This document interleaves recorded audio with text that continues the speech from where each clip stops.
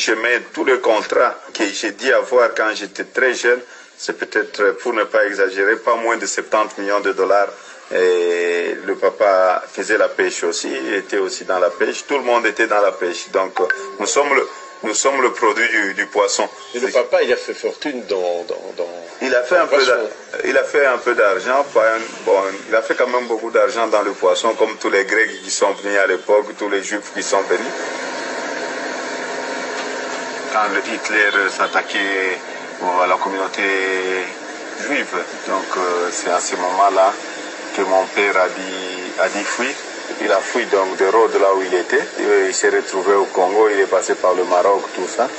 Et donc c'est quelqu'un qui a perdu ses parents très jeunes, à l'âge de 19 ans, dans le camp de concentration. Mon, mon, père, quand il est arrivé, il a commencé dans ses affaires propres, donc dans la pêche, il faisait la pêche. Ma mère a rencontré aussi mon père dans, dans, ces, dans ces villages, et voilà. À l'époque, c'est pour vous dire que mon père n'était pas raciste, parce que pour avoir une femme noire, c'était très difficile pour un blanc d'avoir une femme noire. Il fallait compter vers le, les années 42, 43, avoir une femme noire. Mais mon père a eu ce courage-là et il était en même temps juif. Pour avoir une femme noire, c'était très difficile. Ils se sont rencontrés ici.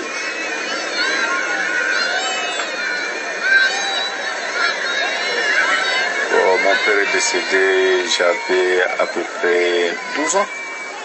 Et il est enterré ici? Non, mon père n'est pas enterré ici, il est enterré à Natania. Natania, c'est Israël. Je le fais de temps en temps. Il était aussi dans la pêche, tout le monde était dans la pêche. Donc nous sommes le, nous sommes le produit du, du poisson. Et le papa, il a fait fortune dans... dans, dans il, a fait un peu il a fait un peu d'argent, bon, il a fait quand même beaucoup d'argent dans le poisson, comme tous les Grecs qui sont venus à l'époque, tous les Juifs qui sont venus.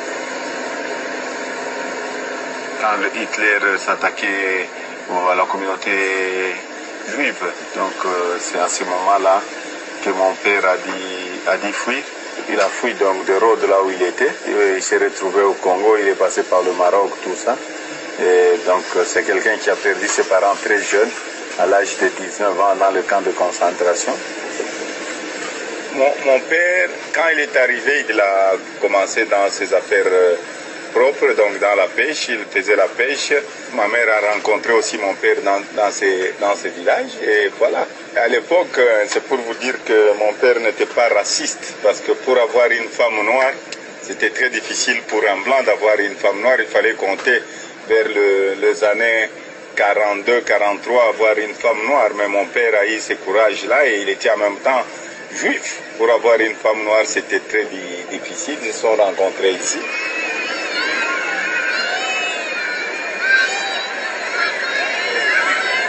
mon père est décédé, j'avais à peu près 12 ans.